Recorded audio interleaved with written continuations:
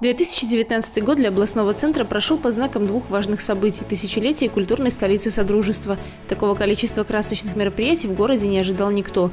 Настолько ярко и интересно все получилось. Первым аккордом торжеств стала церемония открытия проекта «Культурная столица».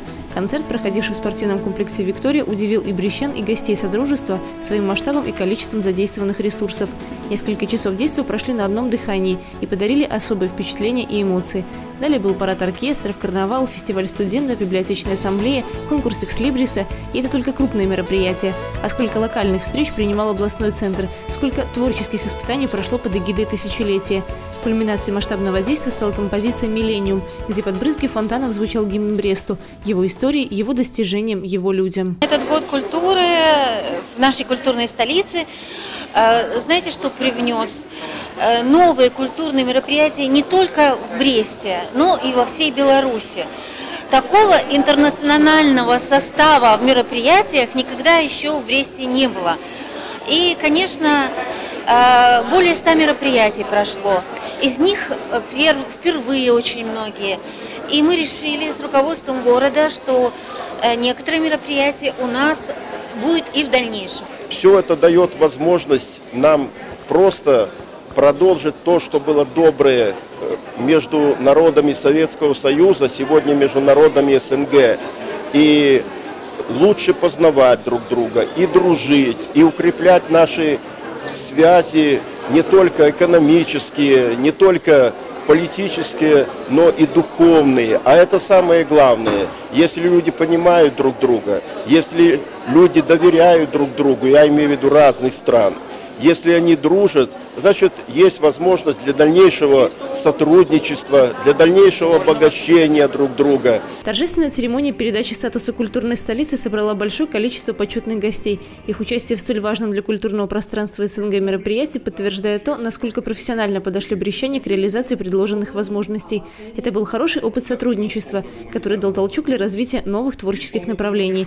В торжественной обстановке Александр Рогачук передал первому заместителю Акима Шимкента Нуртаю Кайрату символическую статуэтку. Теперь добрую культурную традицию продолжит Казахстан. Город готовится, люди радуются. И это такая большая возможность еще раз а, вот, странную часть Содружества независимых государств, вот обмена истории, культуры, полностью вот, э, готовятся хорошие объекты исторические. Брест – это уникальный формат для СНГ с точки зрения узнаваемости, с точки зрения ассоциации нашего города, с точки зрения э, положения географического нашего города.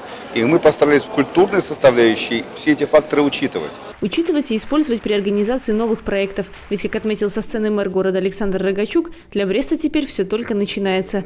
Кроме того, в рамках закрытия проекта «Брест. Культурная столица Содружества» состоялось награждение премии Содружества дебютов.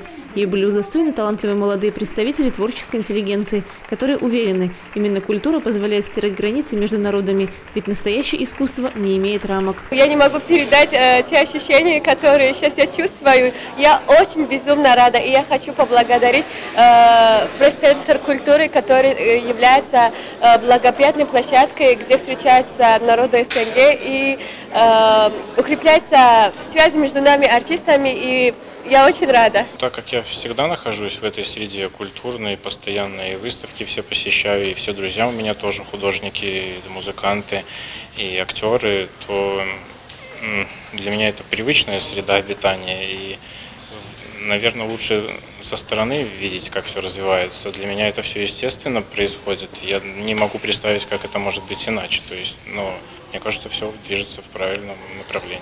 Звуки молодежного оркестра СНГ, созданного на базе Российского государственного симфонического оркестра кинематографии под руководством народного артиста России Сергея Скрипки, добавили церемонии торжественности и масштабности. Звучала музыка, классическая, народная, понятная без слов, будоражащая сердце и душу.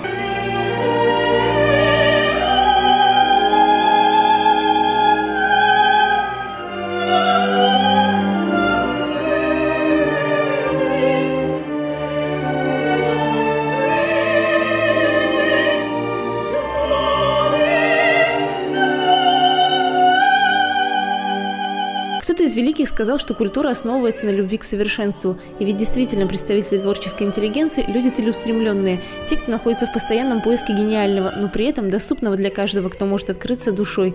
Целый год город жил в этом удивительном ритме совершенства. Он же останется курсом и на ближайшие десятилетия. В этом сомнения нет ни у кого.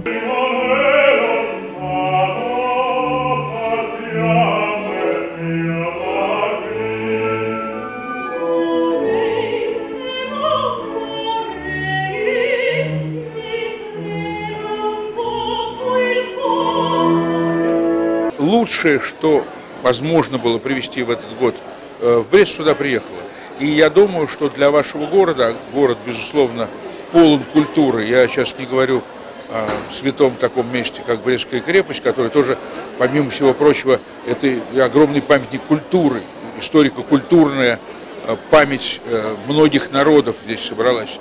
Но это и замечательный театр кукол, который известен во всей Европе и на постсоветском пространстве, и замечательный драматический театр, в котором мы находимся, все процессы культурной жизни активизируются, они становятся более динамичными. Я думаю, что э, мы правильно выбрали Брест, э, когда определялись тем, какой город будет культурной столицей. В рамках культурной столицы мы позаимствовали уже несколько форматов, которые даже потеряв этот статус, мы уже, ну, передав этот статус, мы будем проводить за счет городских, спонсорских и других средств.